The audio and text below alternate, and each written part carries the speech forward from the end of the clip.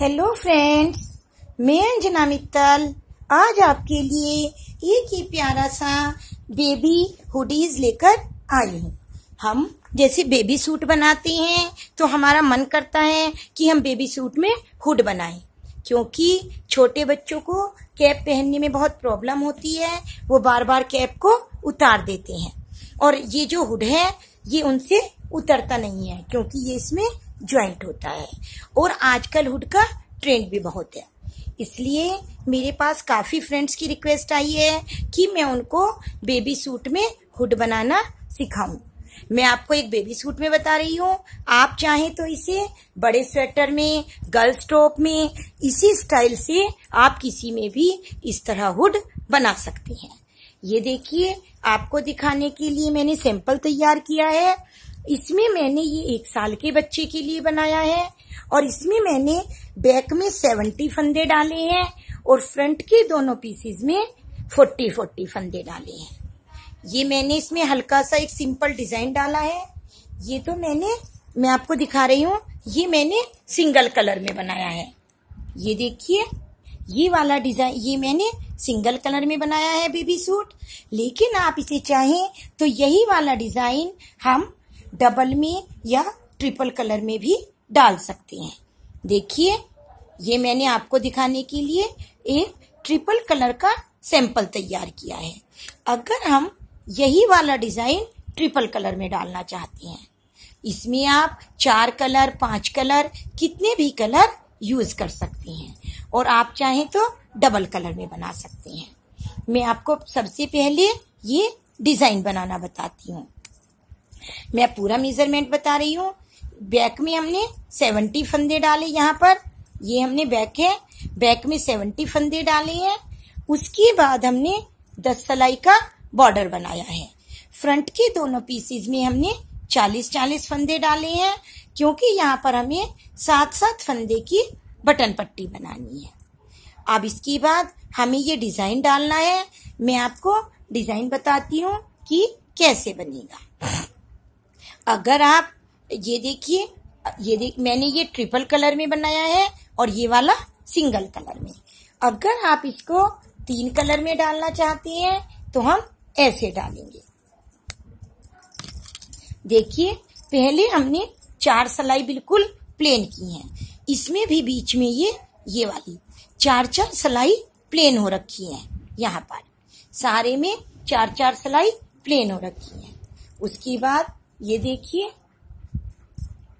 हमने blue design डाला है तो इस बार नीचे मजेंटा है तो हमारा मजेंटा का नंबर है। आप ये देखिए, हमने इसमें यहाँ, ये वाले ये वाले दो फंदों में ब्लू में डिज़ाइन डाला हुआ है। तो इस बार जिन ब्लू में हमने डिज़ाइन डाला था, वो वाले प्लेन करने हैं, और जो प्लेन पट्टी नज़र आ रही है, ये वाली व्हाइट की, पूरी। यहाँ पर हम डिज़ाइन डालेंगे। यानी कि ये वाले फंदे मजेंटा आएँगे, ये व्हाइट, ये मजेंटा, ये व्हाइट।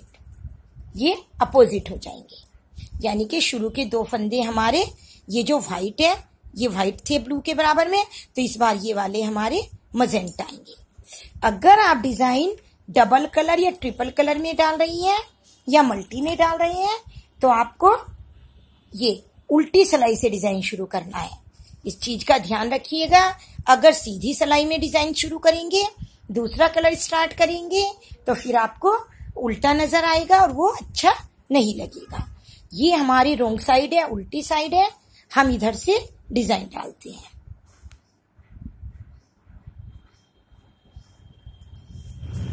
शुरू के दो फंदे हम मजेंटा करेंगे। एक, दो। एक चीज़ और है कि ये सिंगल धागे की बुनाई है। दो हमने बुन लिए उल्टे, अब हमने दो ये वाले उतार लिए ऐसे, क्योंकि इन दो में हमने पहले बुनाई डाली थी। फिर से हमने दो फंदे मजेंटा बुने और दो फंदे उतार लिए। फिर से हमने दो मजेंटा बुने और दो फंदे उतार लिए। हम ऐसे ही पूरी सलाई बुनते रहेंगे, दो मजेंटा और दो व्हाइट वाले उतार लेंगे। अब हमारी ये सीधी सिलाई आ गई है। सीधी सिलाई भी हमारी सेम रहेगी। यानी कि हम मजेंटा को बुनेंगे ऐसे और धागा पीछे करके व्हाइट वालों को उतार देंगे। स्लिप करेंगे। धागा आगे करेंगे, दो उल्टे बुनेंगे और धागा पीछे करके व्हाइट वाले उतार देंगे। हमारी पूरी सिलाई ऐसे ही रहेगी। ये देखिए, हमारी सिलाई हो गई है। अब हमारी उल्टी सिलाई है, फिर से वही पैटर्न रहेगा। यानी कि हमारे दो उल्टे, मजेंटा दो उल्टे रहेंगे और व्हाइट वाले उतार देंगे। मजेंटा दो उल्टे रहेंगे और व्हाइट वाले उतार देंगे। ऐसे ही हमें चार सिलाई करनी है। ये देखिए, हमारी तीन सिलाई हो गई है। अब हमारी ये चौथी सिलाई है, फोर्थ सिलाई है। तो इसमें भी हम वही करेंगे, यानी कि मजेंटा बुनेंगे और व्हाइट को उतार लेंगे। फिर से धागा आगे करेंगे, मजेंटा बुनेंगे और व्हाइट को उतार लेंगे। अगर हम सिंगल कलर की बुनाई डालते हैं जैसे मैंने ये बनाया है तो हमें किसी फंदे को उतारने की ज़रूरत नहीं है। इसमें हमें सिंगल धागा चलेगा, बहुत सुंदर लगेगा, ये आप बड़े आराम से तैयार कर सकते हैं। ये देखिए, इस तरह ये हमारा पैटर्न तैयार हो गया। अब हम फिर से चार सिलाई व्हाइट बनाएँगे और फिर ब्लू पैटर्न डालेंगे। ठीक है? इस तरह हम ये वाला डिज़ाइन डाल लेंगे। जब हमारा, मैं आपको पूरा बता देती हूँ, ये हमारा यहाँ से यहाँ तक, बिल्कुल नीचे से यहाँ तक जब 10 इंच हो जाएगा 10 इंच होने के बाद हम यहाँ पर इसमें इसमें हम मुड्ढों की घटाई करेंगे। यहाँ हम मुड्ढों की घटाई करेंगे, जिसमें हमें तीन, दो, एक, ऐसे हमें मुड्ढे की घटाई करनी है। मुड्ढे की घटाई करने के बाद हमें ये तीन इंच बुन लेना है। तीन इंच बुनने के बाद अब हमारे पास जैसे आगे फोर्टी फंदे थे, फोर्टी फंदों में से हमने छह फंदे हम यहाँ घटा देते हैं।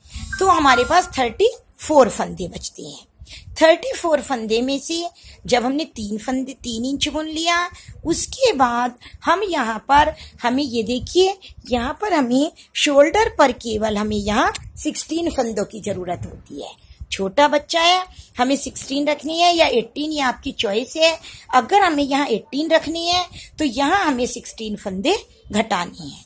सिक्सटीन इधर घटाने हैं और सिक्सटीन फंदे इधर घटाने हैं।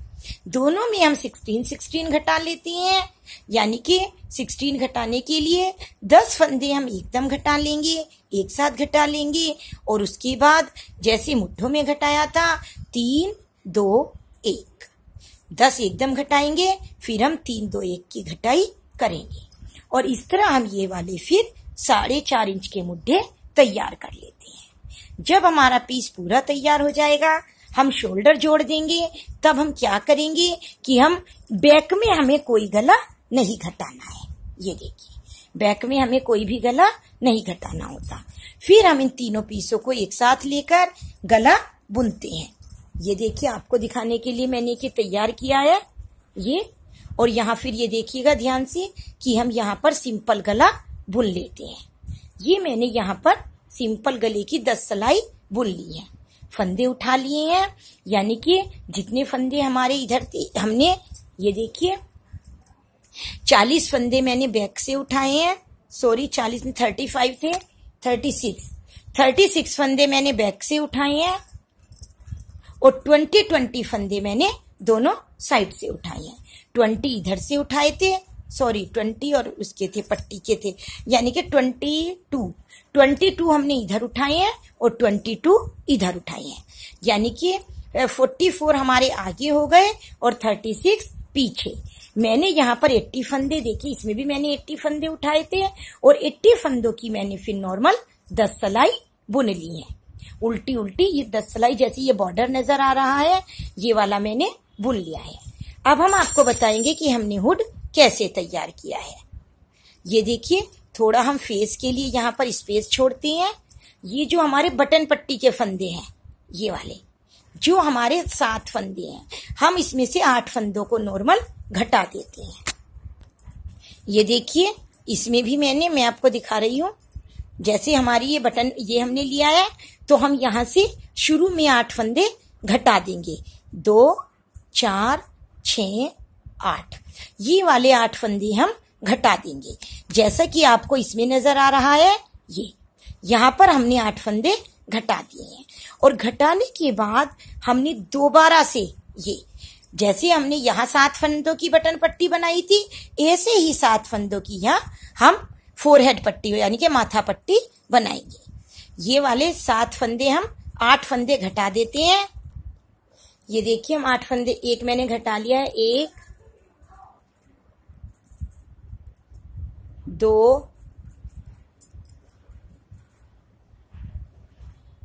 तीन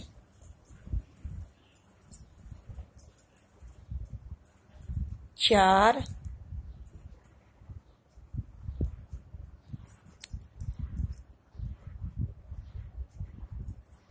पाँच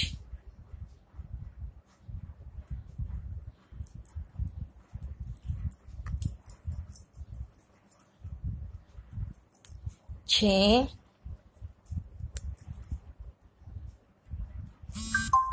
सात।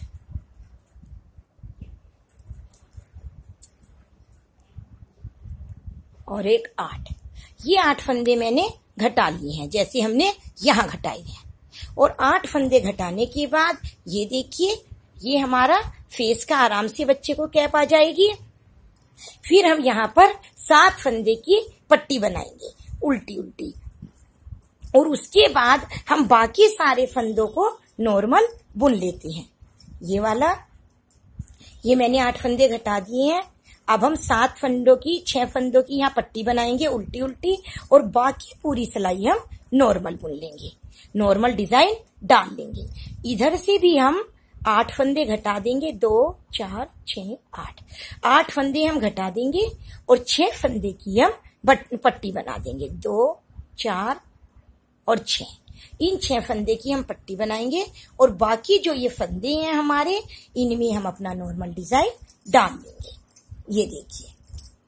इसमें हम पूरा नॉर्मल डिज़ाइन डालेंगे। जब हमारी ये कैप एक बेबी के लिए छह इंच हो जाए, छह इंच की कैप हमारी बेबी को आराम से आ जाती है। एक साल तक के बच्चे को डेढ़ साल को आराम से आ जाएगी। फिर हम अपना वही नीचे वाला डिज़ाइन डालकर छह इंच बुन लेते हैं। दोनों साइड हमें ये पट्टी बनानी है। पहले हमें दोनों साइड ये आठ आठ फंदे घटानी है और यहाँ पर हमें साइड में ये पट्टी बनानी है। फिर हमें ये छह इंच बिल्कुल प्लेन बुन लेना है। बुनने के बाद जब हम ये छह इंच बुन लेते हैं, फिर हमारा, मैं बताती हूँ कि हमें इसको कैसे, ये कैप बनानी है ये देखिए, जब ये हमारा पूरा का पूरा छ इंच हो जाता है। छह इंच होने के बाद मैं आपको बता रही हूँ कैसे करना है। जब ये हमारा पूरा छह इंच हो जाएगा तो यहाँ पर हमें इन फंदों को आधा कर लेना है। ऐसे मैं आपको करके बताती हूँ। ये देखिए, जैसे कोई भी चीज़ है तो हमें ऐसे अपने फंदों को आधा आधा दोनों सिलाई में बराबर डिवाइड कर लेना है। ये देखिए ऐसे, वो फंदे हमारे ज़्यादा होंगे, लेकिन ये मैं छोटे में बता रही हूँ, ऐसे हमें दोनों सिलाई में फंदों को आधा आधा कर लेना है, और फिर उन सिलाइयों को ऐसे मिला देना है। ये मैंने दोनों सिलाई मिला दी है, और तीसरी सिलाई लेनी है, और तीसरी सिलाई से हमें इनको घटा देना है। यानी कि एक फंदा इस सिलाई से लेना है, और एक फंदा इस सिलाई से। दोनों सिलाइयों से लेकर बुन लेना है। एक फंदा और, एक इस सलाई से और एक इस सलाई से। ऐसे लेना है, ऐसे, और फिर एक फंदे को दूसरे फंदे के ऊपर से उतार देना है। फिर से ऐसे ही एक इधर से लेना है, एक इधर से, और अब इसको बुन लेना है, और इस तीस इस पीछे वाले फंदे को आगे वाले फंदे पर उतार देना है। फिर से यही करना है। एक फंदा इधर से लेना है, एक फंदा इधर से। दोनों सलाइयों को बुनना है और ये फंदा उतार देना है।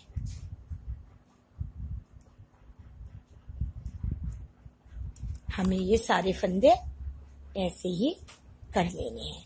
ये हमें पूरा देखिए ऐसे हो रहा है और मैं आपको इसमें दिखा देती हूँ।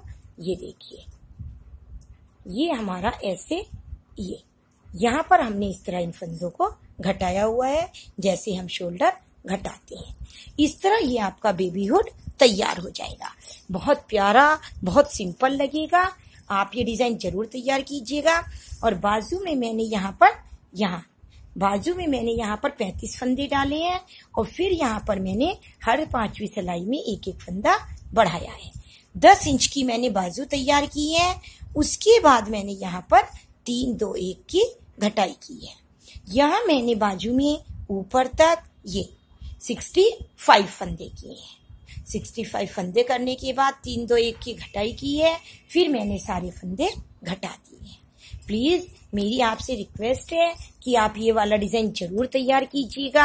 आपका बेबी बहुत सेफ़ रहेगा और आपको बहुत अच्छा लगेगा। अगर आपको कोई क्वेरीज है तो आप मेरे को कमेंट कर सकते हैं और आप मेरी वीडियो को सब्सक्राइब लाइक और शेयर ज़रूर कीजिएगा।